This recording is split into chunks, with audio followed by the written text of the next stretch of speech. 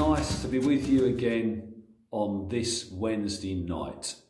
I hope, in spite of the restrictions, you had a great Easter period and you sensed the risen Christ with you. Whatever may be going on in your life at the minute, you have sensed his resurrection power with you. We are going to have a kind of series over the next few weeks on Wednesday evenings called Repercussions of the Resurrection. And we're going to be looking at what the resurrection has actually achieved, repercussions of it for the church, and how relevant that is for today. And tonight, I'm going to be looking at uh, the title is The Promise, the promise of the Spirit, which Jesus obviously said would be the case after he rose again. Anyway, here I am still in the craft room, and uh, I wanted to make you a promise today. We're talking about promises of the Spirit, but I want to make you a promise today, and here it is.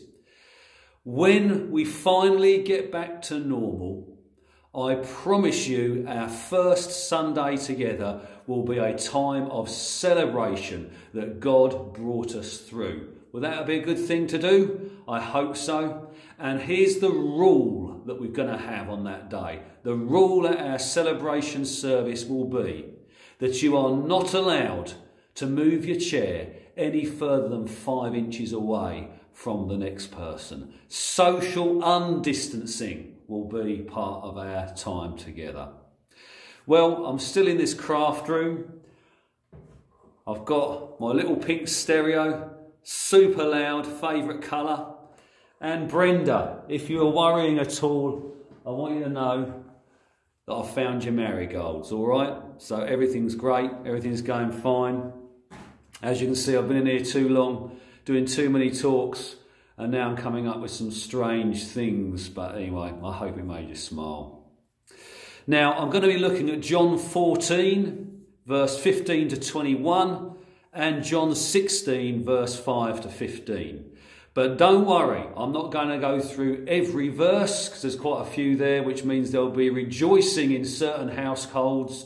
But what I'm going to try and do is paint a bit of a picture using John's words out of those chapters about the Holy Spirit and who the Holy Spirit is, and the Spirit being the promise, of course, to the church. So that's what we're going to do today. Let me pray. Father, we thank you so much for the time of Easter and for resurrection.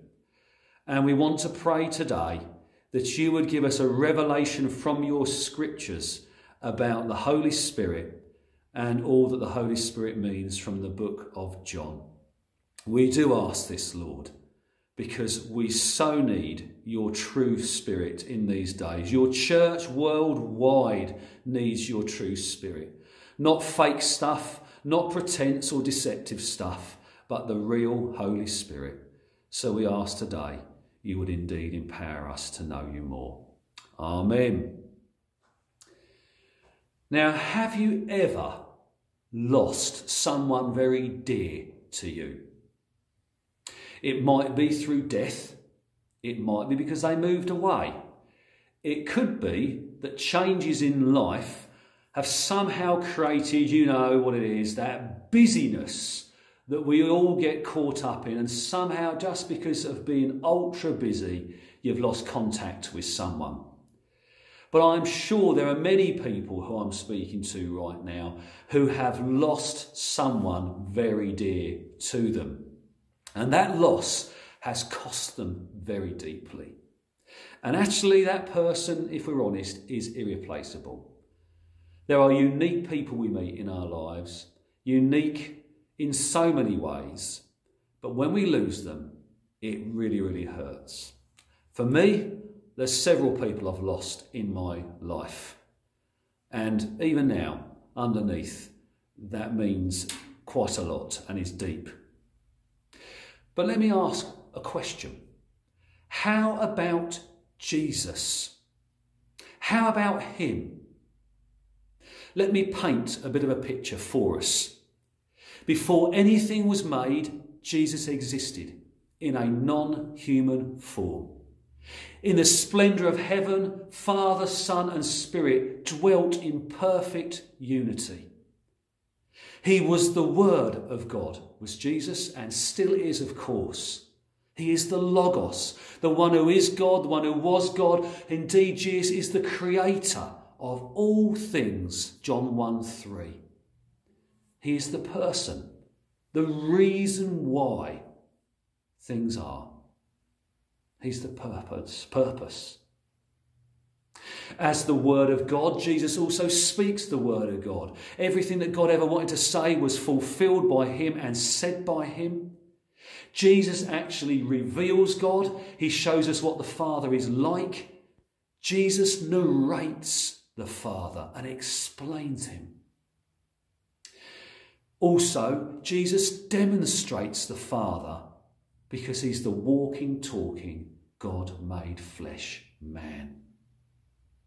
He makes God known and knowable on a first hand basis to all who would believe and receive. And this Jesus delivered, he rescued, he revealed truth, and he was the truth. He was not just a way, but the way. He was not just a life, but the life. And he is God in person and in action and in looks, really. Because Jesus said, If you've seen me, you've seen the Father. John 14, verse 8. What a statement! As John 1 18 sums it up and says, Jesus is unique, literally one of a single kind. So that's who Jesus is. So Jesus is incredible. He also turned water into wine. John 2. He made a, made a man who was born blind see, John 9. Jesus said, You need to eat bread and wine, eat and drink of me, John 6. And he said he would pour water out from which we would never thirst, John 4 and John 7.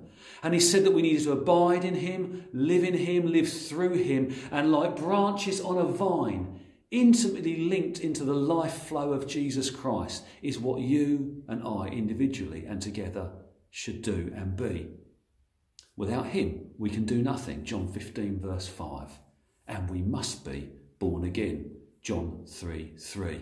Remember Nicodemus? He came to Jesus at night because he was scared of his fellow leaders. He came at night because he wanted to be discovered.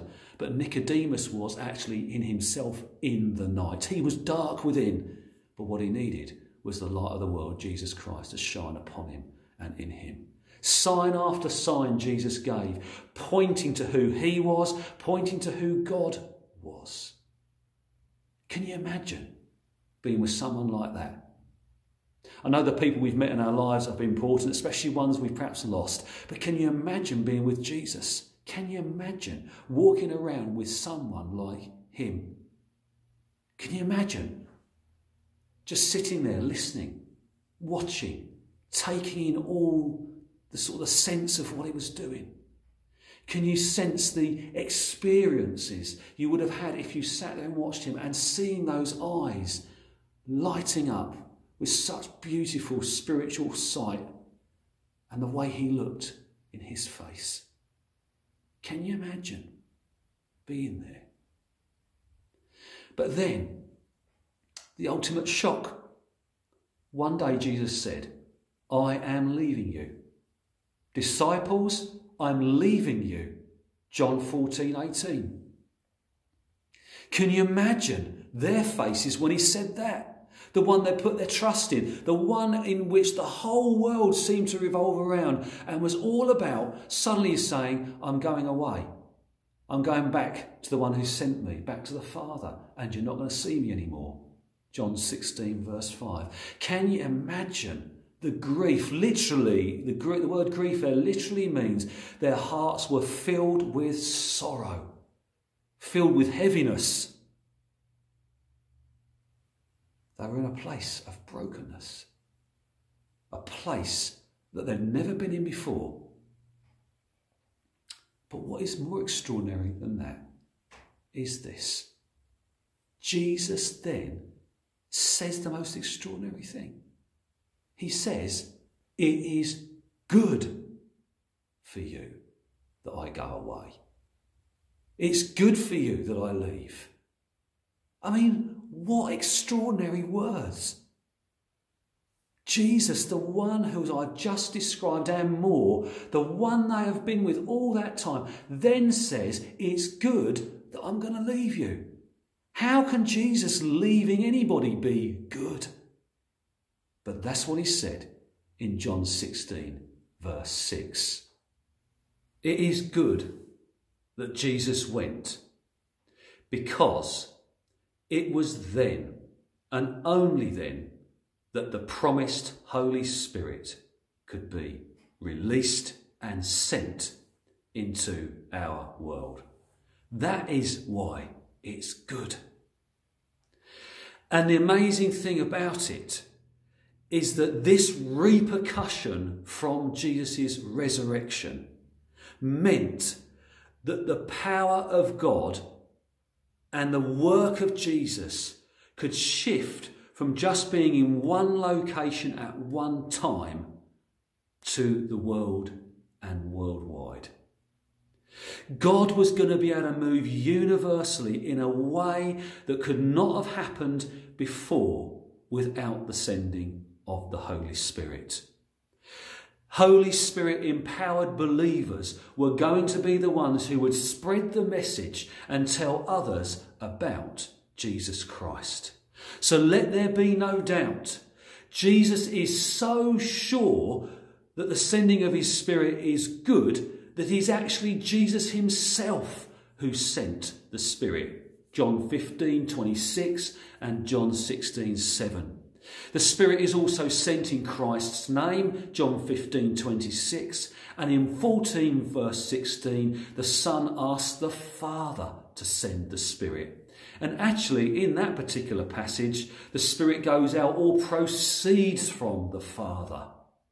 So, over and over again, we see this incredible connectedness in the book of John, and it's particularly clear here. We see the Father, we see the Son, and we see the Holy Spirit all working together.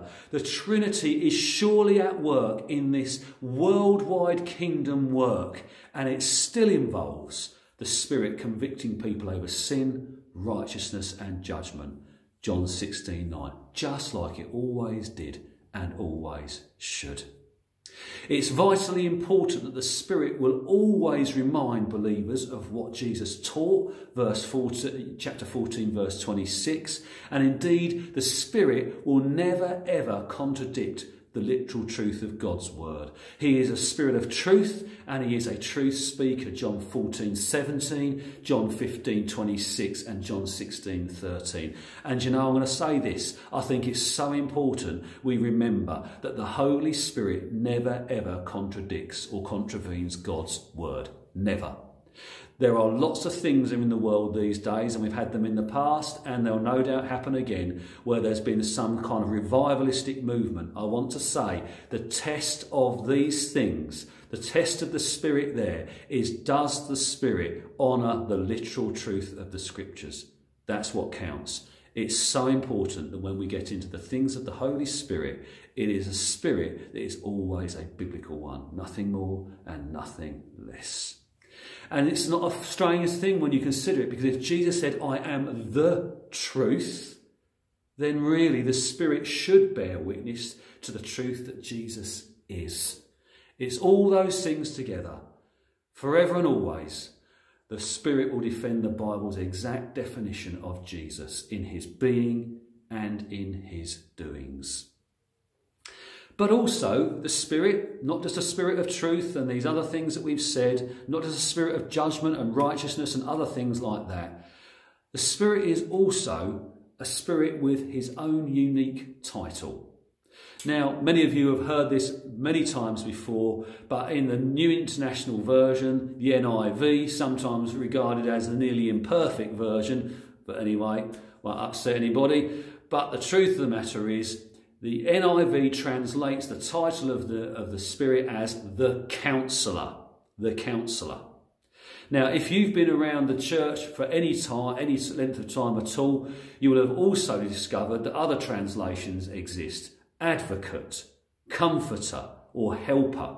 The Greek word behind that is paraclete, which some of you older members may have heard of in the past as well. The Holy Spirit is the paraclete, the advocate, the comforter, the helper, the counsellor.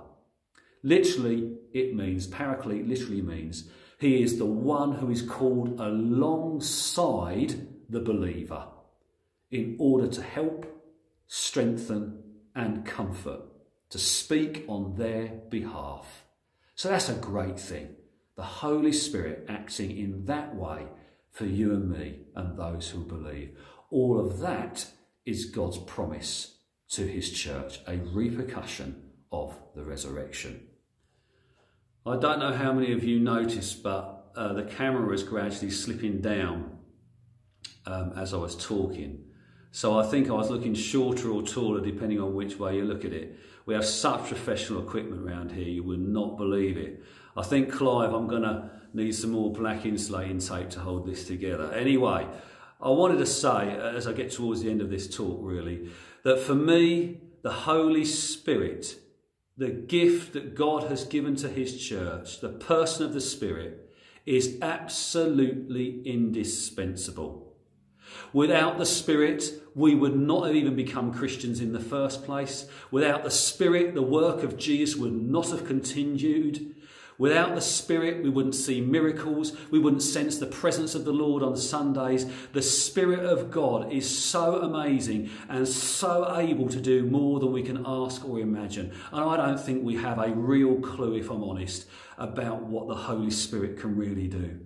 If he is to continue the work of Jesus, then surely that is an extraordinary thing. Imagine what the work of Jesus would be right now if Jesus was physically on earth at this moment.